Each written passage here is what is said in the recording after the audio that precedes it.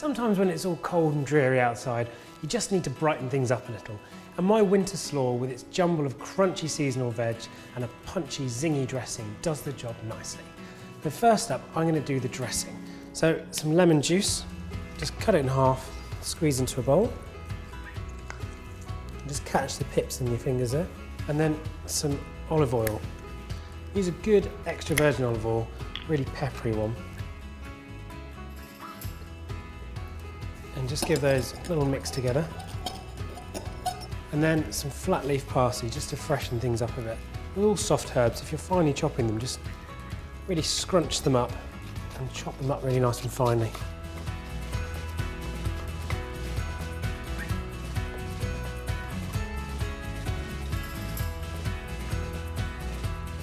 And then stir that together and just set that aside for a sec. Now to build the salad. In here I've got some parsnips and some red onion and all I've done is just use a box grater and just grated those coarsely. Into that some red cabbage. Just cut it into quarters and then here you've got this really tough white core. So just take a sharp knife, cut down to remove that. This salad's got a great combination of really seasonal veg.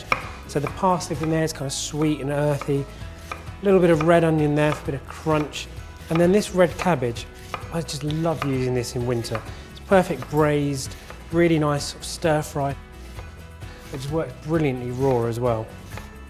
So just finely shred that, add it to the bowl, and then just tip the dressing over the top.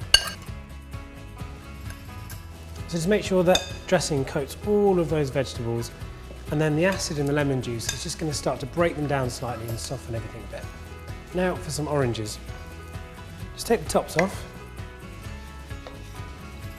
and then just cut down one side and then get your knife in and just kind of roll around to take the skin off. What I want to do is segment the oranges but at the same time catch all the juice. So just pop a sieve over the salad and then take a small knife and just cut in between each segment remove them. So as you cut round, taking out the segments, all the juice is going to fall down, but the sieve will catch any of the pips.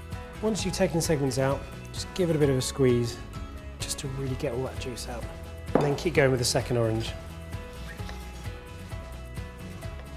Take the orange segments and then just cut them up into roughly one centimetre pieces. And next up some medjool dates, just for a bit of that lovely toffee sweetness you get from these. Again, roughly the same size as the orange, just into small chunks. Just scoop them up, add them into the slaw and then give it a mix around. That's the main body of the slaw done. Got all those lovely colours and flavours. Now for a bit of texture. I've got some pomegranate seeds, and just save a few back for garnish. And the same with pistachios. And then finally, just a little pinch of ground cinnamon. Ground cinnamon works really, really nicely with red cabbage. Again, also with the oranges, with the dates, it all kind of brings it together beautifully. But the other thing about cinnamon in this form is it's actually got a little bit of spice to it, so it just warms up the whole of the slaw. Just look at those beautiful colours, all those great textures. That winter slaw is almost ready to serve. Just tip it into a big serving bowl, sprinkle over the rest of the pistachios, pomegranate, a little bit of cinnamon and some good quality balsamic vinegar.